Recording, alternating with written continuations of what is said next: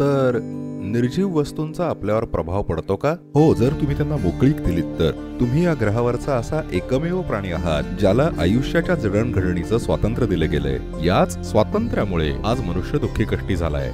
गुडलकसाठी ती तू खिशात ठेव. ती तुझ्या बोटावर असेल तर त्यांना वाटेल की तू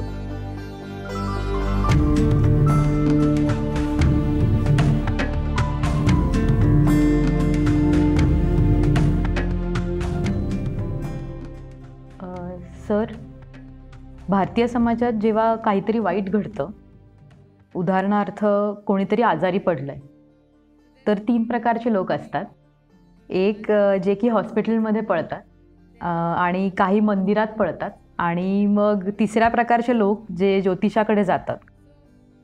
तर आम्हाला पहिल्यापासून असं शिकवलं गेलं आहे की आपल्या आजूबाजूच्या निर्जीव वस्तू आपल्या आयुष्यावर प्रभाव टाकतात. त्यांच्यामध्ये तशी शक्ती आहे. उदाहरणार्थ माझ्या आईनं दोन तीन वर्षापूर्वी मला एक रत्नाची अंगठी घालायला दिली. जी अजूनही मा मी घालते. कारण कारण आईनंच तसं सांगितलं आहे हो, ती तू काढून टाकली पाहिजेस नाही तर मुलांना वाटेल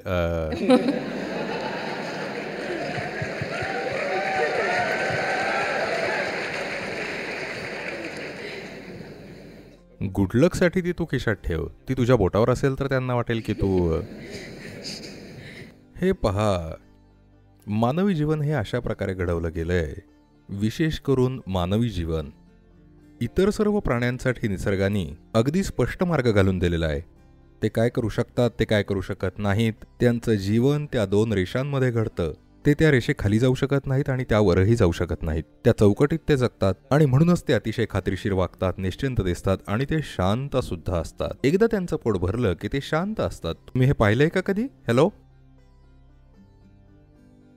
तुम्ही माझ्याशी कट्टी केली आहे का? तुम्ही हे बघितलं असेल सगळे प्राणी एकदा का त्यांचं पोट भरलं की ते शांत असतात. पण मनुष्यच असा विचार करतो किंवा त्यांना त्याप्रमाणे असं शिकवलं जातं की शांती हे आयुष्याचं अंतिम ध्येय आहे. एक रेडा त्याचं पोट भरलं की तो शांत निवांत बसून असतो. आणि तुमच्यासाठी हेच अंतिम लक्ष आहे किती लाजीरवाणी गोष्ट आहे. एक रेडा गवत किंवा तो जे काही खातो ते खाऊन जे करू शकतो तुमच्यासाठी सुद्धा तेच अंतिम ध्येय असणं ही अतिशय लाजिरवाणी गोष्ट नाहीये का? मी तुम्हाला विचारतोय.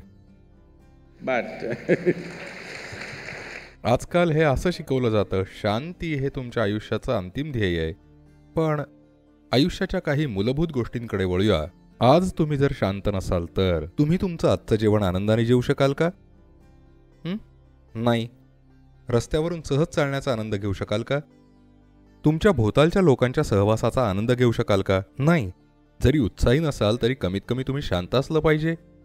आयुष्यात कुठल्याही गोष्टीचा आनंद घेण्यासाठी मी विचारतोय की शांती ही तुमच्या आयुष्यातली पहिली पायरी व्हावी की शेवटची? ज्यांना शेवटची व्हावी असं वाटतं अशा लोकांना फक्त स्मशानातच शांती लाभेल. तर आता इतर गोष्टींचा आपल्यावर प्रभाव पडतो का? विशेषतः निर्जीव वस्तू. मणी रत्न आणि हिरे. आणि अशा काही गोष्टी आणि ग्रहसुद्धा? हे बघा ग्रहाच्या रचनेचा त्यावरच्या जीवसृष्टीवर थोडाफार प्रभाव पडतो. तुम्ही पाहिलं असेल पौर्णिमेला आणि अमावस्येला बरेच प्राणी एक विशिष्ट प्रकारे वागतात. आणि त्याचं कारण त्यांच्यावर ग्रहाचा प्रभाव पडलेला असतो. तुम्हाला माहितीये पौर्णिमेला संपूर्ण समुद्र असा वर उसळून येतो. जेव्हा समुद्र ज्यात अब्जावधी टन पाणी आहे तो जर असा वर उसळून येऊ शकतो तर मग जेव्हा तुमच्या शरीरातला बहात्तर टक्के भाग द्रवरूप आहे तुम्हाला वाटतं का की ते अजिबात वर उसळून येणार नाही? ते येतं. तर मला माहीत नाही की तुम्हाला याची जाणीव आहे की नाही पण भारतात बहुतेक लोकांना माहिती आहे फक्त भारतातच नाही तर जिथे कुठे मनोरुग्णांची इस्पितळ आहे त्यांना या गोष्टीची जाणीव असेल पौर्णिमेला आणि अमावस्येला. लोकांचा मानसिक गोंधळ पराकोटीला गेलेला असतो. तर लोकांना वाटतं की पौर्णिमा आणि अमावस्या वेडेपणाला कारणीभूत आहेत. नाही हे खरं नाही. तुम्ही जर खूप प्रेमळ आहात तर पौर्णिमेला तुम्ही आणखीन अधिक प्रेमळ बनाल. जर तुम्ही आनंदी असाल पौर्णिमेला तुम्ही आणखीन अधिक आनंदी बनाल. जर तुम्ही थोडे वेडे असाल तर तुम्ही जरा अधिक वेडे होता. तुमचा जो काही गुण आहे तो ह्या दिवशी थोडा जास्त वाढतो. तर जे रोमॅन्टिक आहेत त्यांना पौर्णिमा हवीशी वाटते. ज्यांना ध्यान करायचंय त्यांना पौर्णिमा हवी आहे. जे थोडेसे वेळे त्यांना पौर्णिमा नकोय. मुख्यतः या दिवशी गोष्टी जरा अधिक तीव्र होतात. अर्थातच आजकाल अशा प्रकारचं पुस्तके विज्ञान प्रचलित आहे जे कशाचंही निरीक्षण करत नाहीत. लॅबमध्ये काय घडलंय ते सोडलं तर?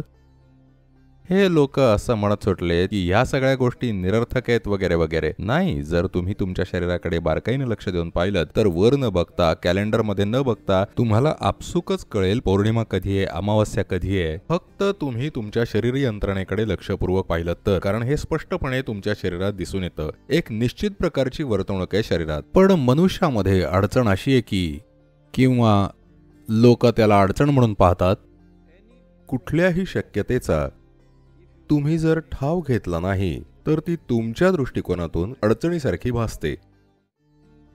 एक अडचण ही नेहमीच एक शक्यता असते नाही का? तुम्हाला नाही आवडलं?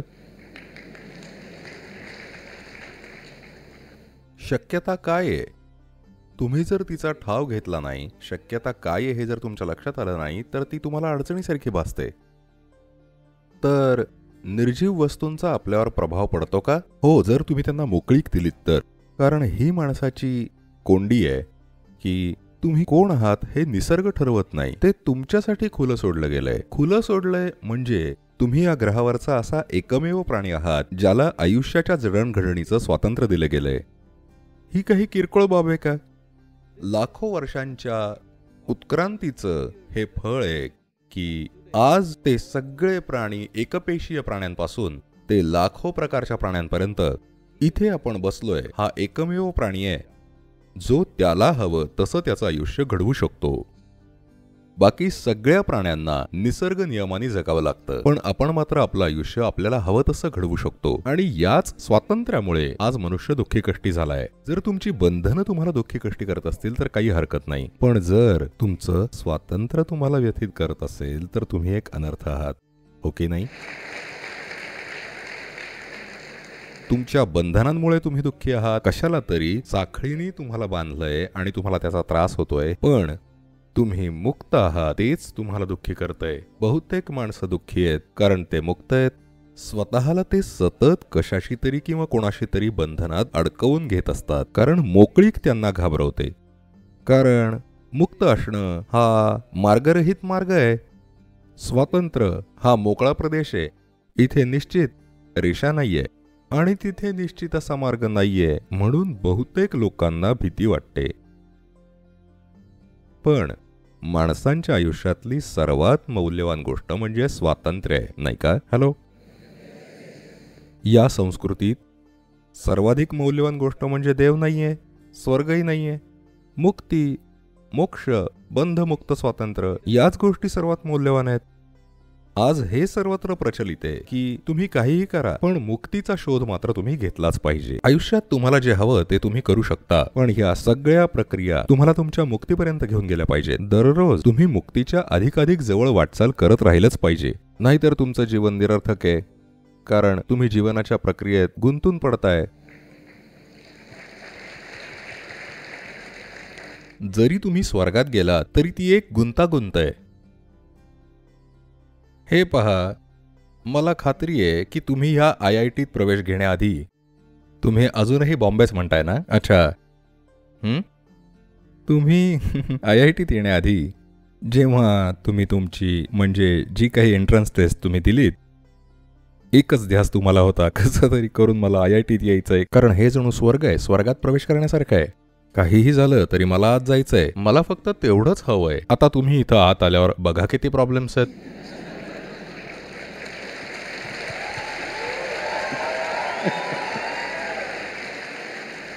मला तुम्हाला अगदी सोपा प्रश्न विचारायचा आहे. ह्या ग्रहावर आहात. तुमच्याकडे आहे का असा काही पुरावा? की तुम्ही आधीच स्वर्गात आहात आणि त्याच वाटोळं करताय? आहे का तुमच्याकडे काही पुरावा? समजा तुम्ही या सूर्यमालेतून जर वर गेलात आणि खाली ह्या सूर्यमालेकडे पाहिलं जे काही बारा चौदा ग्रह आणि उपग्रह आहेत ह्या सूर्यमालेत ह्या सगळ्या ग्रहांमध्ये नक्कीच पृथ्वी स्वर्गासारखे दिसेल की नाही? हो की नाही? म्हणजे आधीच तुम्ही स्वर्गात आहात आणि त्याचंच वाटोळं करताय आणि आता तुम्हाला दुसऱ्याच कुठल्या तरी स्वर्गात जायचंय? आपली संस्कृती स्वर्गाला काहीही महत्त्व देत नाही. देवाला सुद्धा फारसं महत्त्व देत नाही. फक्त मुक्तीला महत्त्व देते. आम्हाला अवघ्या सृष्टी आणि सृष्टीकर्त्यापासून सुद्धा मुक्त व्हायचंय. मुक्ती मोक्ष यांनाच आपल्या संस्कृतीत सर्वोच्च स्थान आहे. कारण हे काही तात्विक मूल्य नाहीये. हे काही धार्मिक मूल्यही नाहीये. ही अशी गोष्ट आहे ज्यासाठी प्रत्येक जीवन आतुरतेने वाट पाहत आहे फरक फक्त एवढाच आहे की बहुतेक लोक याला हप्त्या हप्त्यामधून प्राप्त करण्याचा प्रयत्न करतायत. जरा बघा लोक आज जे काही शोधतायत जर त्यांच्याकडे काहीच नसेल ते म्हणतील शिवशंकरा मला रोज शंभर रुपये दे तेवढंच मला पुरेसं आहे. अशी असते त्यांची प्रार्थना. शंभर रुपये ओटीत पडले. शंभर रुपये? ठीक आहे ठीक आहे ठीक आहे. तीन दिवस शंभर रुपये पुरतील. चौथ्या दिवशी फक्त शंभर रुपये. शंकरा तुझा काय प्रॉब्लेम आहे? तू एवढा कंजूस काय कमीत कमी दिवसाला हजार रुपये तरी दे. ठीक आहे हजार रुपयाची नोट पडली. आता चलनात आहे का? हजार रुपयाची नोट? नाही नाही. ओके दोन हजार रुपये पडले. यासाठी मला अडचणीत सापडायचं नाहीये. सद्गुरूंसाठी हजार रुपये कुठून पडतायत? त्यांच्याकडे ते कुठे आहेत?